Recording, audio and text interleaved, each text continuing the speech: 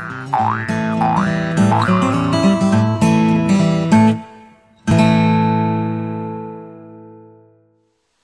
everyone! Welcome back to integralcalc.com. We're going to be doing another trigonometric substitution problem today. This one involves the integral of x squared minus 25 over x dx.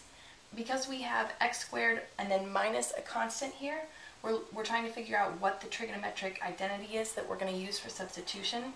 And since u is always in place of the x and a is in place of the constant, we're using u squared minus a squared because it matches our form here. Which means that u is equal to x and a is equal to 5, which we can uh, therefore plug into this part of the formula and we get x equals 5 secant theta. Um, secant squared theta minus 1 equals tangent squared theta is the part of the identity that we're going to use for substitution later on. So let's go ahead and um, now that we found x, we always take dx and the derivative of secant of theta is um, secant of theta tangent of theta.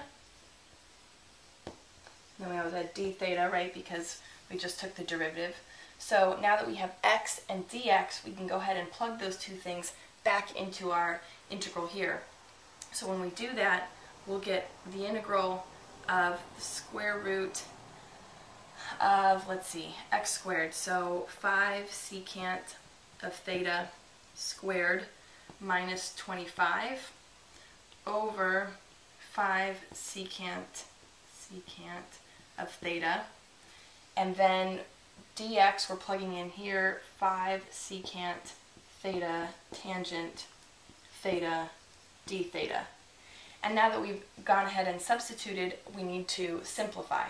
So to simplify, we can first cancel out 5 secant theta because we have it in the denominator and in the numerator. And then we're going to need to simplify what's under the radical here. So squaring this 5 secant theta here, we will get 25 secant squared theta, and then minus 25 and then we're mul multiplying that by tangent theta d theta. Now we go ahead and factor out uh, 25, 25 times secant squared theta minus 1 tangent theta d theta.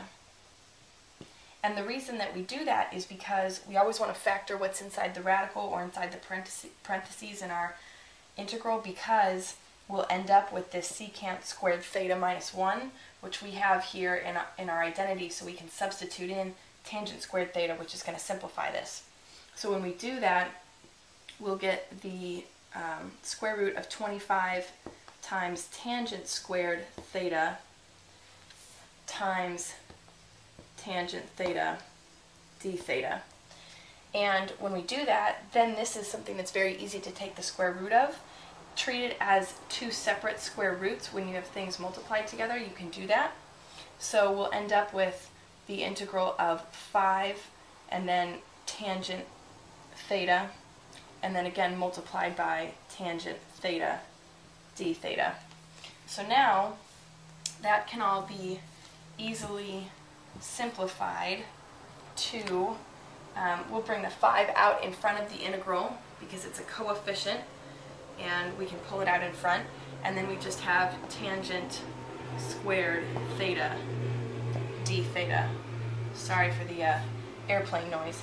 So once we have um, tangent squared theta d theta, what we want to do is go ahead, this is difficult to take the integral of. What isn't as difficult to take the integral of is secant squared theta minus 1, which we can plug back in here. So 5 times the integral of secant squared theta minus 1 d theta.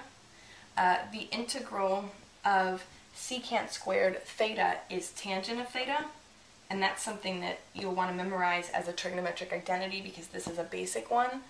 So we have tangent squared theta and then minus theta because the integral of 1 is just whatever the variable is, and in this case that's theta. And then plus c, as always, to account for the constant. So now that we've done that, let's go ahead and simplify one more time here. We'll distribute the 5. We'll get 5 times tangent theta minus 5 theta plus c. So that's our integral fully simplified. And now we need to work on getting this back in terms of x instead of theta. And the way that we're going to do that, we're going to plug in two different things.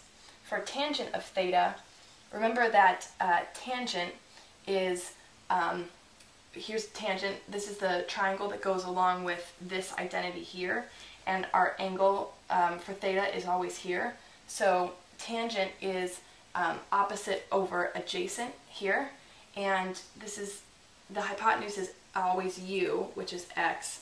The adjacent side is always a, which is 5.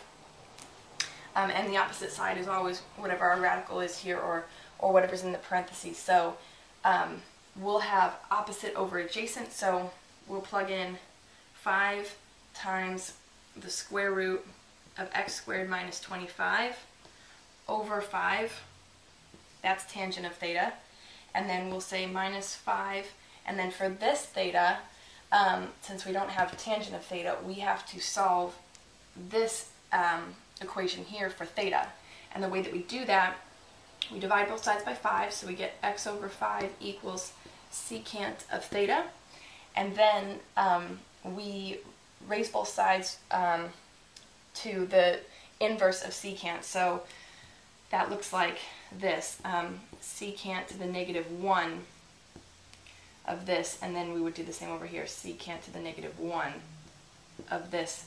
Um, so that will cancel the secants over here, and we'll get theta equals secant to the negative 1, or the inverse of secant, of x over 5.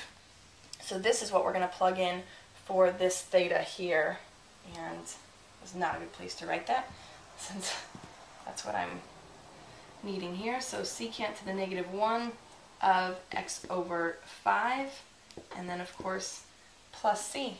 And then the only thing we have left to do is simplify because we can cancel out these 5's here. So our final answer will be x squared minus 25 minus 5 secant to the negative 1 of x over 5 plus c. Hope that helped. I'll see you guys next time. Bye!